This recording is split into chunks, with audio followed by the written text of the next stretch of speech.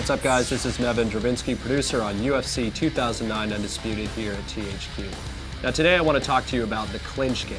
Mastering the clinch game will not only give you an extra level of dominance over your opponents, but it's also going to help you get out of tough situations as well. So let's take a look at UFC 2009 Undisputed's clinch game. Climbing into the virtual octagon, you'll find some of the most authentic mixed martial arts action in our clinch game. With body clinches and strike clinches part of your wide-ranging arsenal, the only thing that separates you from real-life UFC fighters is the controller in your hands. When you combine UFC 2009 Undisputed's body clinches with devastating slams and throws, you'll take down your opponent like a pro and if you need a breather, lock him up in a body clinch and you'll recover energy at an accelerated rate. Most fighters, particularly wrestlers, favorite body clinch is the double underhook. Now check out the way Matt Hughes completely controls Matt Serra from underneath the armpits. No doubt Hughes has the clear advantage here. With Serra locked up in a double underhook, Hughes can bring the game to the mat through any number of takedowns. And if you're looking to finish your match from the ground, the double underhook is an ideal way to get there.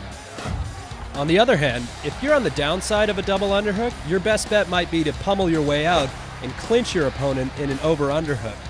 From there, you'll have access to a full array of trips and throws, but be careful, so will the other guy. Judokas, for example, can really take advantage of the over under because it provides the perfect platform for some truly spectacular throws. While body clinches in UFC 2009 Undisputed make for an incredibly exciting grappling game, you can inflict some real damage with our strike clinches. Now, unlike body clinches, strike clinching is all about finishing a fight through brutally effective striking.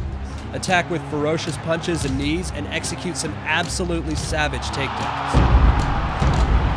Every fighter in the game has access to the full range of strike clinches, but the strike clinch of choice amongst boxers and kickboxers has got to be the single collar tie.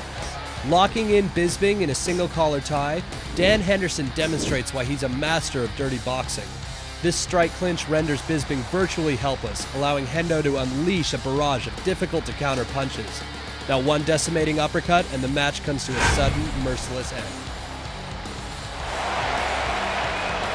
Now, one of the most fearsome moves in all of UFC 2009 Undisputed is the Muay Thai clinch. Watch Brandon Vera keep his opponent off balance and launch a fearsome volley of deadly knees straight to the head. If you're unfortunate enough to get caught in the plum, do whatever you can to counter the sways and knees. Falling victim to the Muay Thai clinch is a quick route to a short night. So there you have it, our clinch game.